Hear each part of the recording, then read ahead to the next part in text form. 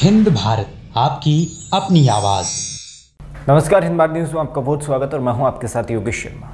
तमिलनाडु के कुन्नूर में हुए वायुसेना के हेलीकॉप्टर क्रैश में सीडीएस विपिन रावत समेत उनकी पत्नी और अन्य तेरह जवान शहीद हो गई। इस खबर को सुनकर हर कोई स्तब्ध हो गया।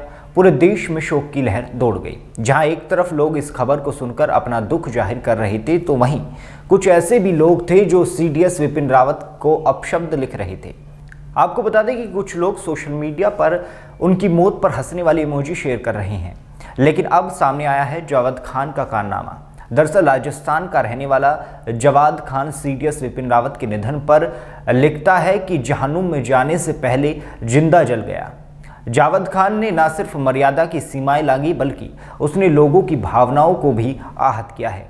ऐसे में जब जवाद खान का ये पोस्ट सोशल मीडिया पर वायरल होने लगा है तो राजस्थान बीजेपी नेता लक्ष्मीकांत भारद्वाज ने ट्वीट कर राजस्थान की टोंक पुलिस को टैग करते हुए लिखा है कि इस जाहिल जानवर जवाद खान के खिलाफ सख्त कार्रवाई की अपेक्षा है जिसके बाद लोग लगातार इस जावेद खान की आलोचनाएँ कर रहे हैं। फ़िलहाल इस खबर में इतना ही। देश दुनिया की तमाम खबरों के लिए जुड़े रहे हिंदवाद न्यूज़ के साथ। देश दुनिया की तमाम खबरों के लिए देखते रहें हिंद भारत। Like, subscribe. और शेयर करना ना भूलें।